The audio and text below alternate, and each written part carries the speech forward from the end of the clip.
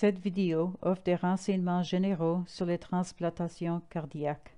Elle est basée sur le matériel standard produit par le Système commun d'orientation et de réception des demandes. Un enfant qui a subi une transplantation cardiaque reçoit des médicaments anti-rejet. Les effets secondaires peuvent inclure des maux de tête, des tremblements, des changements de l'humeur ou de comportement, de la confusion et des picotements dans les pieds et les mains.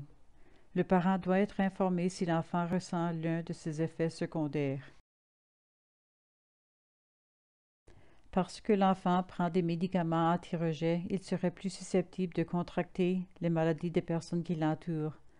L'enfant doit donc être encouragé à se laver les mains souvent. L'enfant doit éviter les contacts étroits avec les personnes atteintes de maladies respiratoires.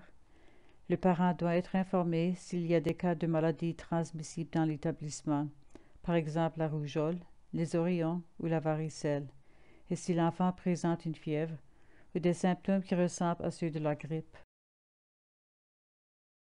Les précautions suivantes sont recommandées pour un enfant qui a subi une transplantation cardiaque.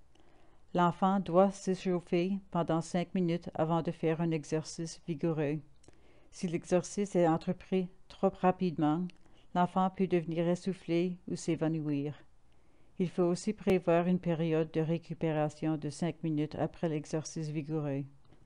L'enfant peut avoir besoin de pauses fréquentes durant l'exercice pendant un an après la transplantation, à raison d'un manque d'énergie soutenue. En tout temps, l'enfant doit pouvoir cesser l'exercice s'il ne se sent pas bien. L'enfant doit toujours avoir une bouteille d'eau parce qu'il doit boire au moins deux litres d'eau par jour. L'enfant ne doit pas consommer d'aliments ou de boissons contenant de pamplemousse en raison d'interactions avec le médicament anti-rejet. L'enfant doit éviter les œufs, la viande, les fruits de mer crus ou insuffisamment cuits, les pousses de graines germées crues, le fromage mou et le lait non pasteurisé. Les aliments tels que les hot dogs, les saucisses de dinde et les produits de charcuterie doivent être bien cuits, et les fruits et légumes doivent être lavés et pelés.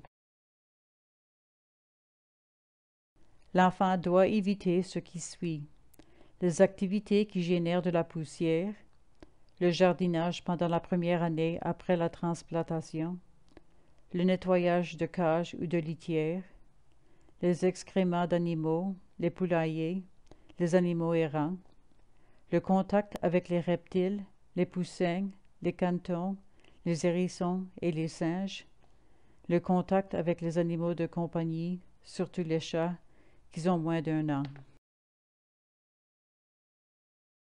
Au besoin, le personnel infirmier vous donnera des renseignements supplémentaires sur les besoins précis de l'enfant sous vos soins.